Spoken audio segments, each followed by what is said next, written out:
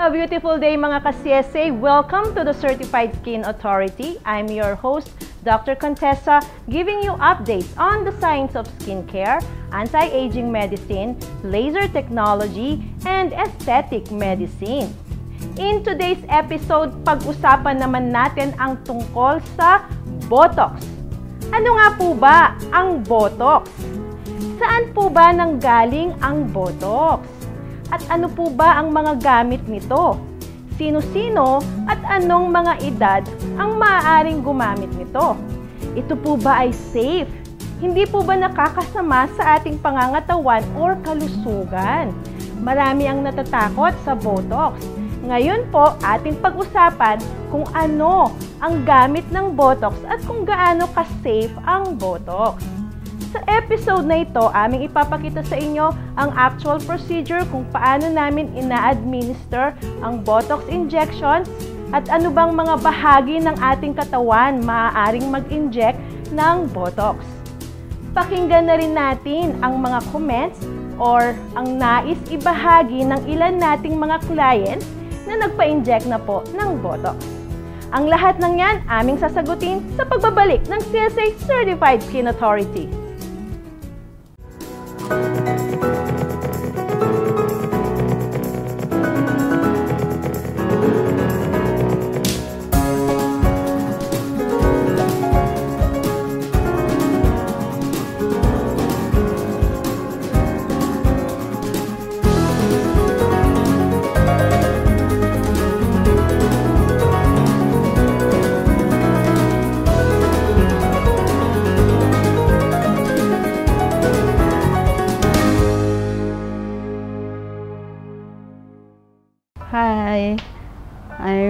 Eva Dalton. Yung problema ko po yung ang armpit ko na nagpapawis, sa gabal sa trabaho, nakakahiya. Yan po. Ah, pumunta po ako kay Doktora Contessa para ipakonsult yung armpit ko na nagpapawis. Yun. Huwag po kayong aalis. Ah, ano po, ano po kaya ang gagawin procedure ni Doc sa akin? And we're back mga ka-CSA, ating pinag-uusapan ang patungkol sa Botox. So, kasama po natin ngayon Miss Carmina and Yong. Hi! Hi! Hello po mga kapitbahay! Welcome back Oh, sa ating lovebirds. O, di ba? Thank you po. Thank you. And I was mentioning a while ago, parang a little bit off nag-mature ng konti. Nagdadalaga na Okay? So, of course, kasama natin ang dalawang ito upang talakayin natin mga ka-CSA ang patungkol sa Botox. Okay? Yes. Kasi may Yeah. iba natatakot. Yes po. Baka daw masama ito sa katawan. Yan. Actually, kasi po, pag hindi tayo informed, parang meron tayong mga misconceptions na pag narinig sa iba, sabihin, ako, delikado yan. We Yes. have to, um, parang, di ba, hindi naman basta-basta ding nakikinig. Kung gusto nyo, you can do some research on your own. Or, Correct. mag-tune in na lang dito kasi masasagot Yes. namin yung mga tanong nyo. Yan. Okay, ang Botox kasi, actually it's a brand name mga ka-CSA. It's a proprietary name ng isang company sa Amerika na ang tawag ay Allergan. Ang Botox ay nagmula dun sa word na botulinum toxin. So, para bang ang bigat na terminology yan, no? Kaya Botox na lang. Botox na.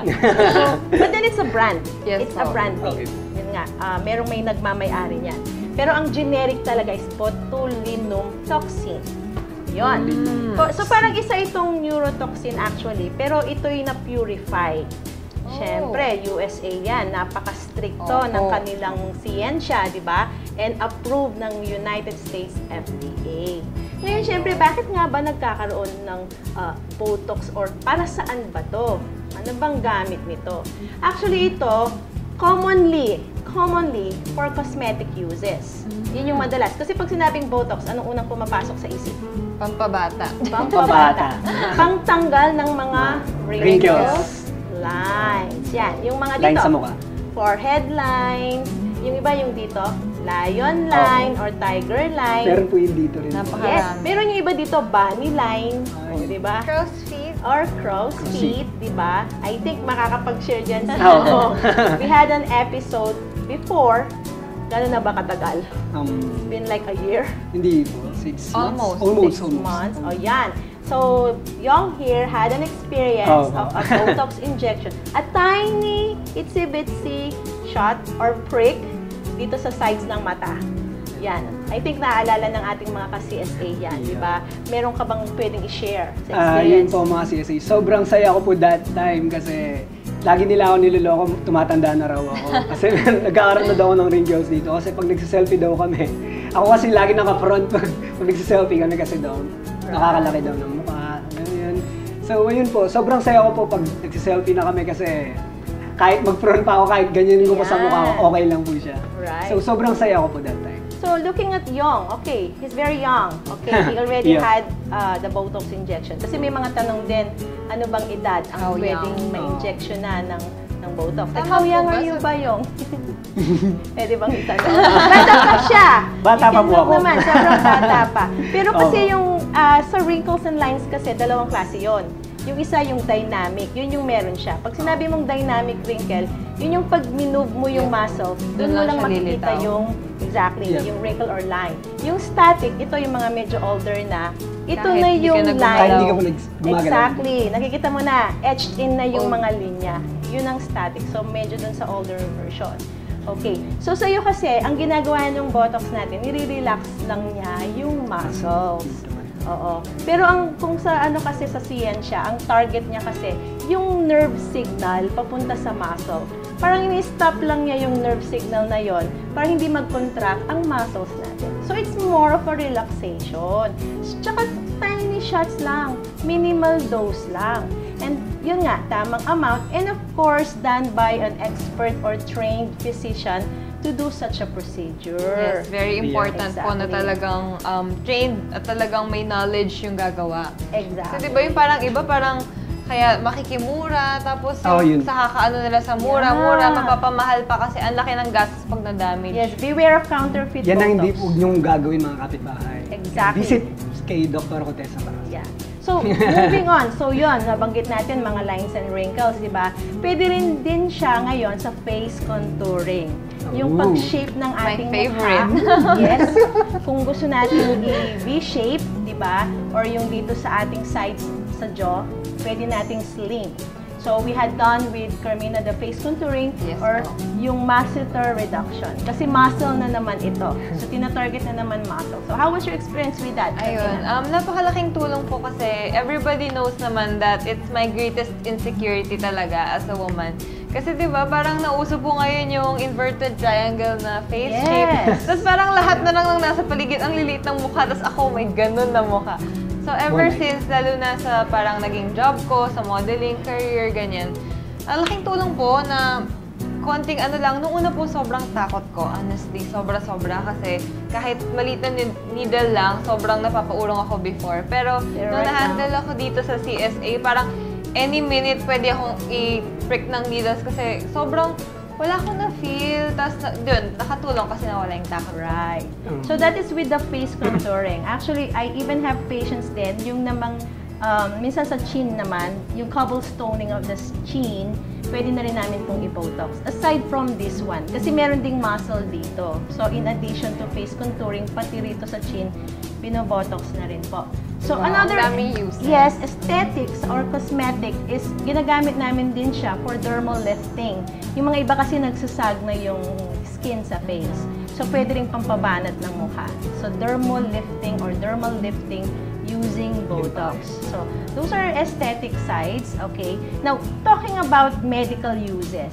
Actually, ang Botox, hindi lang naman talaga siya for aesthetics or cosmetics. Ginagamit na rin po siya for some medical indications. Example, I have patients with the so-called blepharospasm, yung may twitching sa may or around the eye area. Abnormal movement yon. So actually, we use Botox na. Diba? Kasi it's really, of course, for these people who suffer with such condition, di ba? So they, abnormal movement yun eh. Hindi nila makontrol. So to help these people, we use Botox to treat that. So ang laking tulong din Yes niya, po. right? Di ba? Yung iba naman yung, yung spasm sa half side ng face, yung iba dito rin eh. Yung nakikita niyo yon Ah, Or, yes po. so any Nakikita ko. abnormal movement or, or tick or any movement disorder, we make use of the Botox. O yan, mga cosmetic uses, medical. medical uses, okay? Marami pa tayong pwedeng pag-usapan. Huwag kayong aalis, mga kasiyasay. Amin pong ipapakita sa inyo ang actual procedure kung paano namin i-administer ang Botox. So the first one for face contouring and ang second one po for excessive sweating. Sa pagbabalik ng CSA Certified Skin Authority.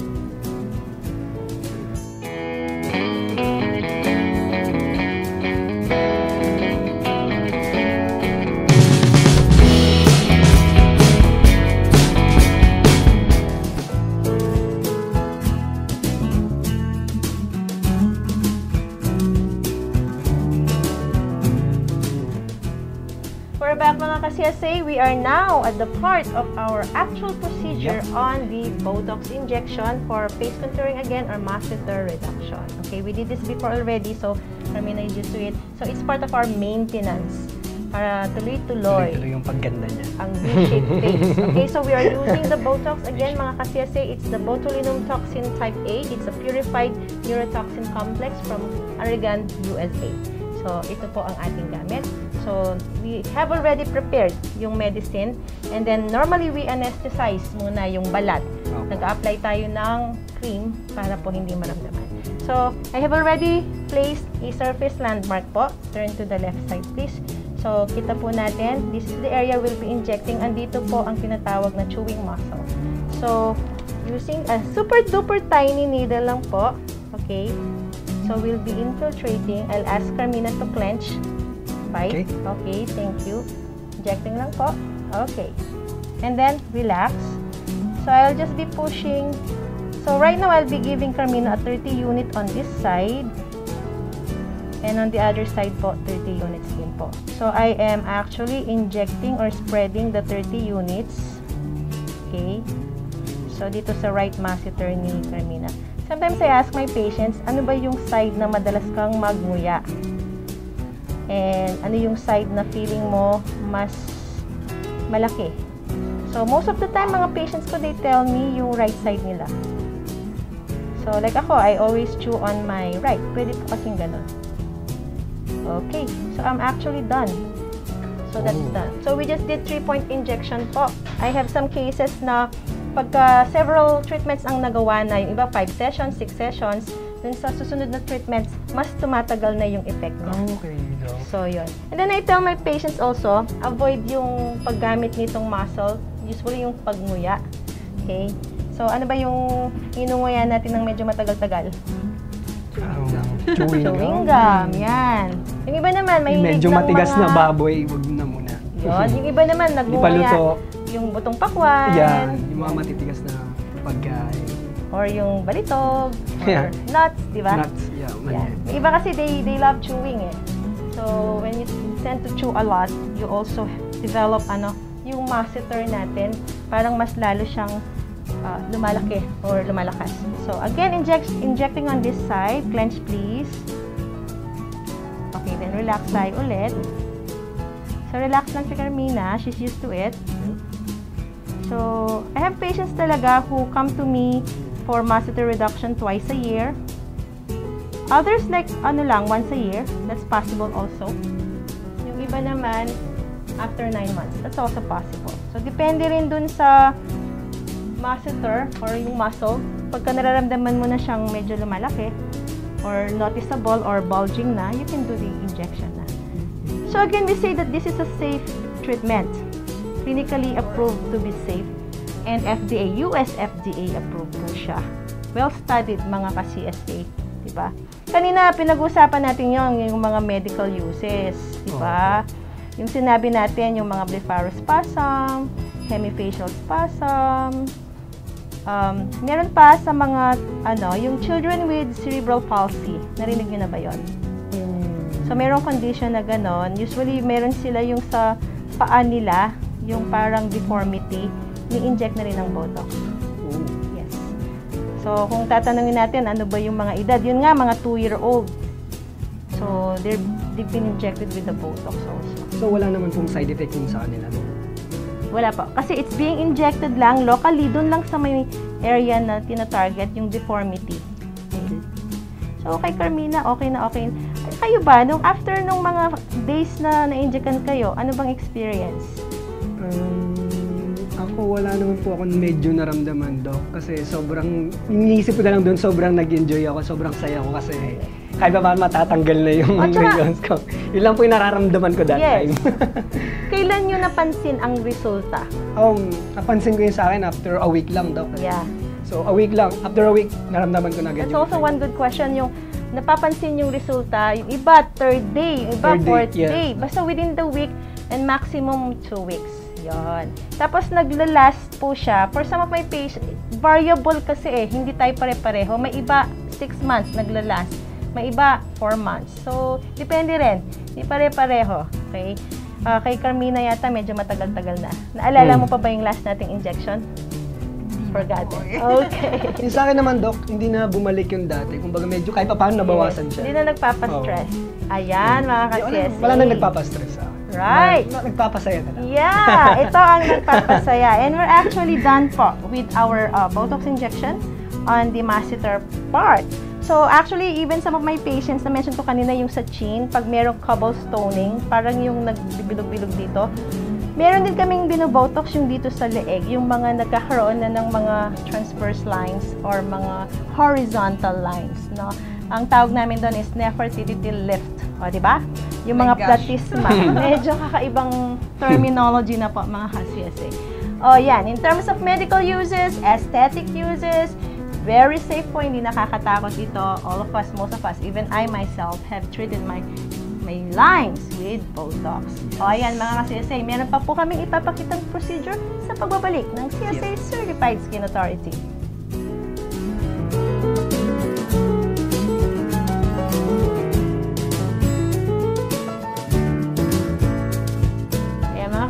We're now on the part of another procedure using Botox, but this time for axillary hyperhidrosis or excessive sweating sa underarm Carmina.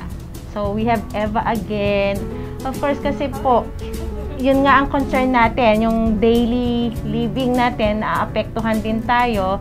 Hassle din kasi, like yung, syempre, palit tayo ng palit ng damit, di ba? Yes. Marami kasi sa atin, lalo na sa Pilipinas, mainit, di ba? We tend to sweat a lot. So, this is one remedy already. No? And uh, actually, pag nag inject naman ng Botox dito sa area na to, uh, binab naman yung skin bago tayo mag-inject. So, naglagay na po kami ng topical anesthesia. And even before we have checked already, Miss Eva, gumawa kami ng tinatawag na iodine starch test. Yun yung naglalagay tayo ng iodine. Pagkatapos nun, merong powder, magre-react yun dun sa sweat. Ang magiging kulay is dark, maitim. So, yun yung area na merong active sweating talaga. So, we already had traced that before. So, ngayon, uh, I can already inject dun sa mga areas na may excessive sweating talaga. So, yan. Miss Eva, how are you feeling? Okay po. Okay lang po. Si ma'am naman, eh, hindi siya ganun ka, wala siyang fear of tiny needles. di ba? So, i- ano lang din po, tiny injections. Yung kay Carmina kasi kanina, more of muscular. So, sa atin dito, parang intradermal injection. So, parang nandun tayo sa layer ng skin in terms of injecting our uh, armpit area. Ideally to, we also place a mark, but in my case kasi since I've been doing this several times na, so I already know where to inject. Expert na dyan si Uh, Dong. so we have a 1 centimeter distance from ev- every injection. Ayan. Parang ano lang po, Ma'am Eva, tiny prick. Opo daw. Tolerable naman po. Ayan. So, some of my patients, I give isang side ng armpit is 50 units. Depende rin po, case-to-case basis, may iba binibigyan kami na 100 units isang side. Marami-rami na yon. Grabe. Yeah. 100. Yeah. We're talking about the uses ng Botox din. Meron din ako naging pasyente. ah, alam mo sa legs, yung muscle sa likod ng legs. Yung iba kasi Yung sob- namumuo po, Oo, yung sobrang laki. I had a patient na in-inject ko rin yung muscles na yon. Oh. Pwede mo ring i-relax, paliitin. oh, diba? galing. So, yeah, we treat muscle hypertrophy sa Botox na rin. O, diba? Meron ka pang gustong idagdag, Carmina, for Botox. Naku, ako po talaga eh, na-amaze na sa dami ng uses ng Botox. Kasi parang, di ba, parang almost every area ng body na may problem tayo, kaya niyang isolve. Yan, sa face, sa neck. By the way, migraine. Meron din akong pasyente na ang problema migraine. Kaya rin po ng Botox yun? Yes po. Wow! So migraine sa kanyang ano, temple side, temporal side ng head. Sa USA, approved ang migraine treatment Botox use. Using- oh. Yeah, covered ng kanilang, merong state sa kanila na kino-cover nila ang Botox sa kanilang insurance. O, di ba? Ang galing. Oo, alam sabi na nga alam nung- kung marami yes. siyang uses. Yes, sabi nga ng patient ko na may migraine, I get free Botox because because of migraine treatment. Natitreat din daw yung kanyang mga wrinkles. O, di ba? So, I'm done on the right side. So, we are on the left side right now. So, continuing on our treatment ng Botox sa ating excessive sweating. Yan, may solusyon. Hindi Yes lamang po. sa, ano, sa axillary or armpit. Yung iba sa kamay. Meron akong mga wow, pasyente. basta sweating po on muscles. Yes, meron akong isang patient na talagang yung sa kamay niya, ito yung palmar hyperhidrosis, nagsusweat talaga. Meron din sa paa. Excessive Oh, po sweating sa pwede rin paa. sa... Oh yeah, my yeah. gosh. Also use Ang dami Botox naman right pong now. uses, pero ang curious lang po kami, Doc. Meron po bang overdose when it comes to using that? Yan, that's a very good question. Kasi um, actually the max dose that we can give, kasi ito mga units to, we can give as much as uh, 400 units lang. Okay? 400 so we units don't go for the entire beyond- body na po yun. Apo, we don't go beyond 500 units. Okay?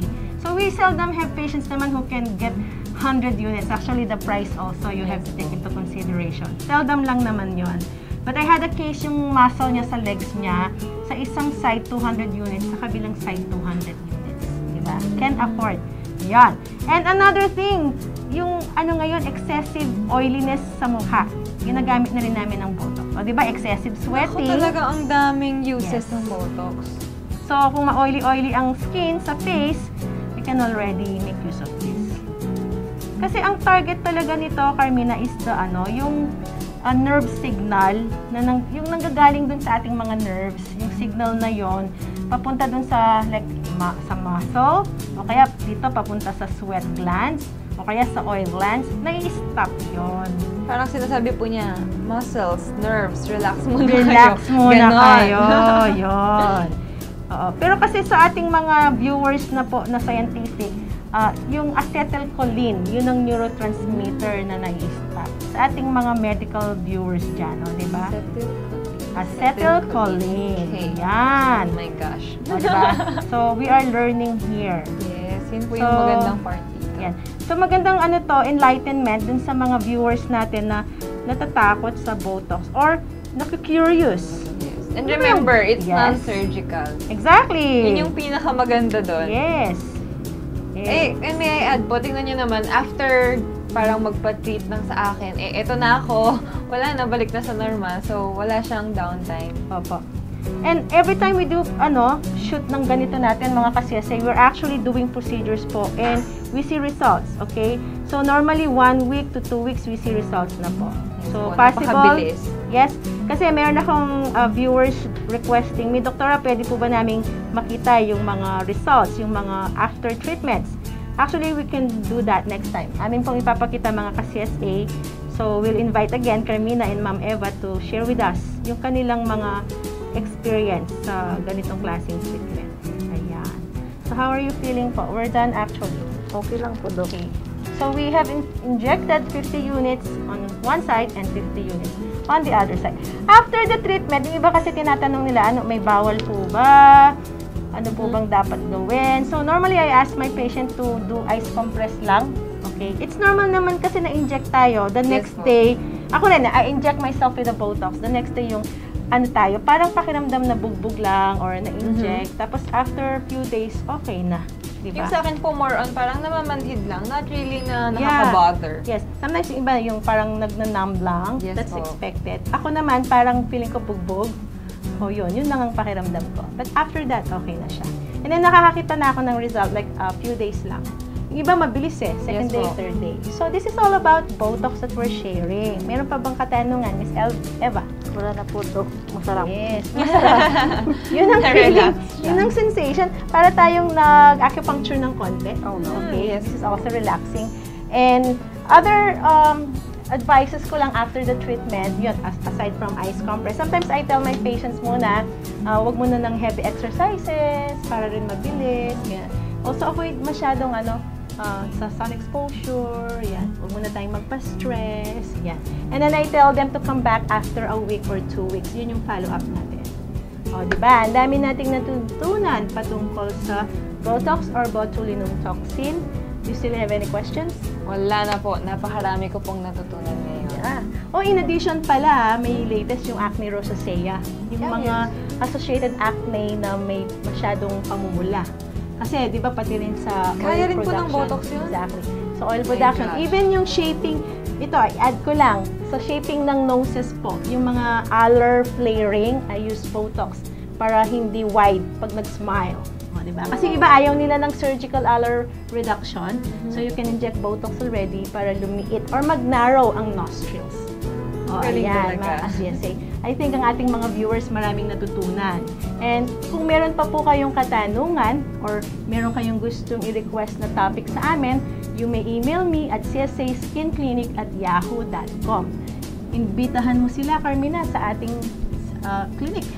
Ayun po, um, kung meron po kayong mga concerns, alam ko po na naniniwala talaga ako na maaasikaso kayo mabuti dito sa CSA. So, mag-visit lang kayo para magpa-assess and yun po, promise, masusolve yan. Correct.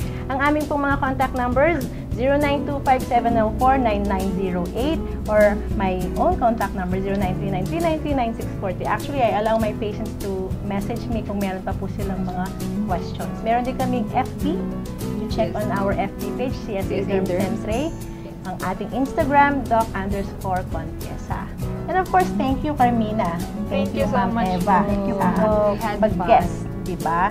And maraming salamat din sa ating mga sponsors. Actually, I would like to thank our Botox sponsors, Allergan, uh, from actually, uh, they're in Manila, okay? And main office nila actually Singapore pa. Hmm. And then also, I would like to thank my Restylane family, Galderma family, my CSA family. Thank you kay Bot for my hair and makeup. Same thing with Carmina Yes here. po. Okay. And yun po, please don't forget to visit us dito sa Pure Gold, the second floor. Yan, yun ang aming clinic. And of course, sa inyo po, maraming maraming salamat sa patuloy niyo pong pagtangkilik. So when it comes to your skincare, you can trust the CSA Certified Skin Authority.